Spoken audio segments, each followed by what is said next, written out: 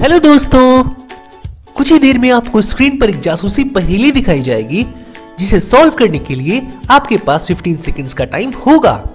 But अगर आप और भी टाइम चाहते हो तो आप वीडियो को पॉज कर सकते हो। एक बार राहुल और उसकी वाइफ के बीच झगड़ा हो गया।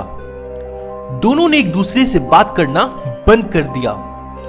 वाइफ की शिकायत थी कि राहुल अब पहले की तरह अपनी फैमिली को टाइम नहीं देता।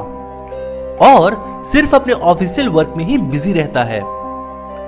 एट लास्ट राहुल अपनी जिद छोड़कर अपनी वाइफ को मनाने गया। उसने अपनी वाइफ को प्रॉमिस किया कि वो इस संडे उसके साथ शाम को मूवी देखने ज़रूर जाएगा। उसने अपनी वाइफ को किसी तरह मना लिया।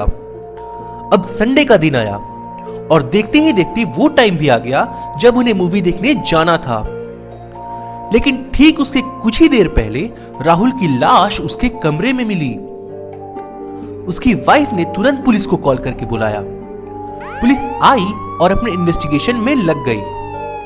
जिस वक्त राहुल का मर्डर हुआ, उस वक्त घर में तीन लोग थे।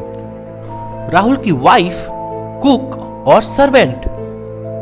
पुलिस ने तीनों को बुलाया और पूछा कि वो लोग घटना के वक्त कहाँ थे और क्या कर रहे थे।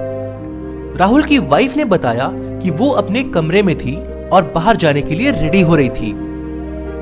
कुक ने बताया कि वो किचन में था और सबके लिए ब्रेकफास्ट बना रहा था। सर्वेंट ने कहा कि वो फर्श की सफ़ाई कर रहा था। अब आप जरा पुलिस की हेल्प करो, ये पता करने में कि राहुल का मर्डर किसने किया। और आपका टाइम स्टार्ट होता है अब।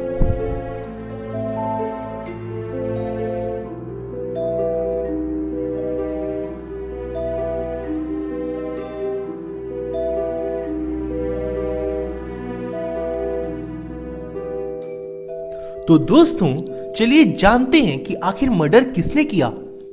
एक्चुअली मर्डर कुक ने किया। बिकॉज़ उसने कहा कि वो सबके लिए ब्रेकफास्ट बना रहा था। बट राहुल का मर्डर शाम को हुआ था। ठीक उसके बाहर जाने से पहले। और आखिर शाम को कोई ब्रेकफास्ट क्यों बना था? इसका मतलब कुक झूठ बोल रहा था। और मर्डर कुक ने ही किया था।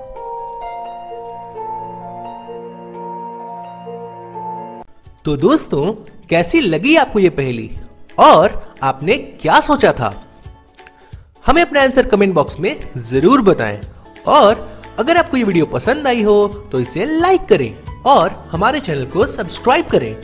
और साथ ही साथ बेल आइकन को ज़रूर प्रेस करें, ताकि मेरी हर एक नई वीडियो आप तक पहुँच सके सबसे पहले।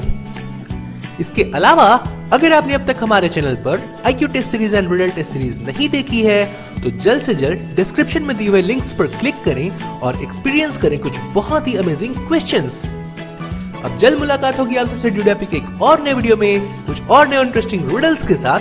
तब तक के लिए अलविदा दोस्तों और वीडियो देखने के लिए आपका बहुत बहुत थैंक्स